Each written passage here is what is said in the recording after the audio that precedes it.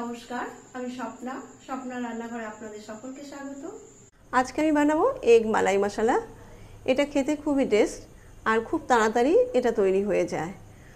তাহলে চলুন বন্ধুরা, শুরু করা যাক আজকের রেসিপি এগ মালাই মশলা। প্রথমে আমি একটা পেস্ট তৈরি করে নেব। এর জন্য আমি দিয়ে দিচ্ছি দুটো মিডিয়াম সাইজের পেঁয়াজ কুচি মিক্সির জারে। এটা চাইলে আপনারা বড় বড় টুকরো করেও নিতে পারেন। আর এরই সঙ্গে আমি দিয়ে দিচ্ছি চার থেকে পাঁচটা লঙ্কা। এটা আমি কাঁচা লঙ্কা নিয়েছি আর আপনারা আপনাদের স্বাদ মতো ঝালটা দিতে পারেন। এটাকে আমি একটা পেস্ট বানিয়ে নিচ্ছি। পেস্টটা আমার করে নেওয়া হয়ে গেছে। দেখুন, এবার চলে যাব পরের স্টেপে এখানে আমি চারটে ডিম সেদ্ধ করে নিয়েছি, আগে থেকেই ছাড়িয়ে রেখেছি। এবার আমি মাছ বরাবর কেটে নেব।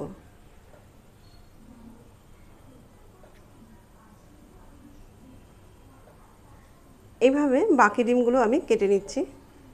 বাকি ডিমগুলো আমি একইভাবে কেটে নিয়েছি। এবার একটা কড়াই বসিয়ে দিয়ে দেবো তিন টেবিল চামচ তেল। তেলটা গরম হতে দিয়ে দেবো, পেস্ট করে রাখা পেঁয়াজ আর কাঁচা লঙ্কা।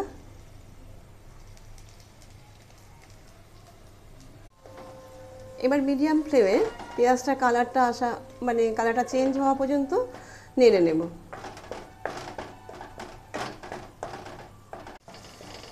মিডিয়াম ফ্লেমে এইভাবে নেড়ে ছেড়ে পেঁয়াজটাকে ভেজে নিতে হবে। পেঁয়াজটা যদি কাঁচা অবস্থায় অন্যান্য মশলাগুলো এর মধ্যে অ্যাড করা হয়, তাহলে পরে খেতে টেস্ট লাগবে না। এইভাবে আমি নেড়ে ছেড়ে পেঁয়াজটা একটু কালার মানে চেঞ্জ হওয়া পর্যন্ত অপেক্ষা করছি। পেঁয়াজের কালারটা একটু চেঞ্জ হতেই দিয়ে দেব দু চামচ আদা রসুনের পেস্ট এবার দু মিনিটের জন্য নেড়ে ছেড়ে ভাজা ভাজা করে নিচ্ছি।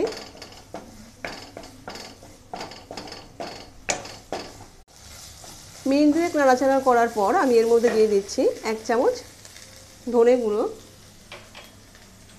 এক চামচ জিরে গুঁড়ো, এক চামচ দিয়ে দিচ্ছি গরম মশলার গুঁড়ো আর হাফ চামচ গোলমরিচের গুঁড়ো আর দিয়ে দিচ্ছি স্বাদ মতো নুন।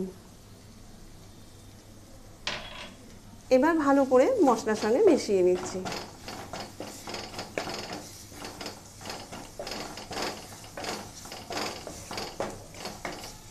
মশলাটা যাতে পুড়ে না যায়, তার জন্য মিক্সির জারটা ধুয়ে দিয়ে দিচ্ছি সামান্য একটু জল। এটা দিয়ে আমি ভালো করে মশলাটাকে নেড়ে চেড়ে কষিয়ে নেব।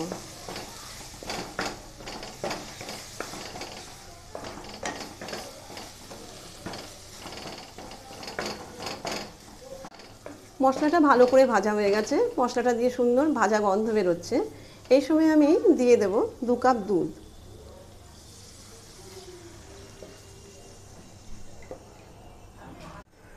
দু কাপ দুধ দিয়ে মশলাটাকে ভালো করে মিশিয়ে নিয়েছি। এবার গ্রেভিটাকে ঢেকে দিয়ে মিনিট দুয়েকের জন্য ফুটিয়ে নেব। দু মিনিট বাদে ঢাকনাটা খুলে নিচ্ছি। গ্রেভিটা অনেকটাই টেনে গেছে। এই সময় নুনটাও চেক করে নেবেন। এবার এই গ্রেভির মধ্যে দিয়ে দিচ্ছি এক চামচের মতো বাটার। বাটারটা দিয়েও আমি ভালো করে মিশিয়ে নিচ্ছি।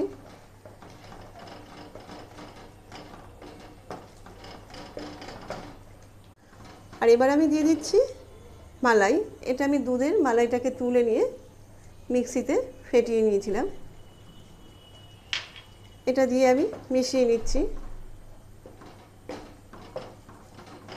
এবার এই গ্রেভির মধ্যে দিয়ে দেবো সেদ্ধ করে রাখা ডিমগুলো। এইভাবে বসিয়ে দিচ্ছি ডিমগুলোকে। সব কটা ডিম বসিয়ে দেওয়ার পর ওপর দিয়ে একটু গ্রেভি দিয়ে দিচ্ছি।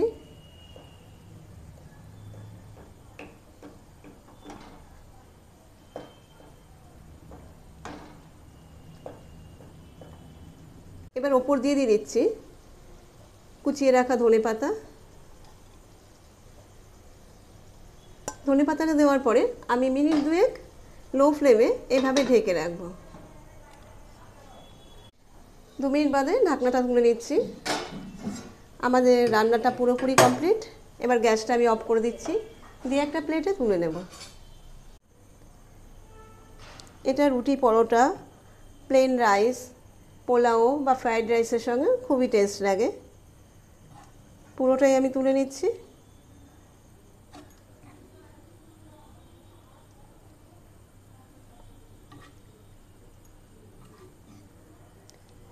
এগ মালাই মশলা পরিবেশনের জন্য পুরোপুরি রেডি ভিডিওটা ভালো লাগলে লাইক শেয়ার করবেন। আর চ্যানেলে যদি কোনো বন্ধু নতুন হয়ে থাকেন, তাহলে চ্যানেলটাকে সাবস্ক্রাইব করার অনুরোধ রইল।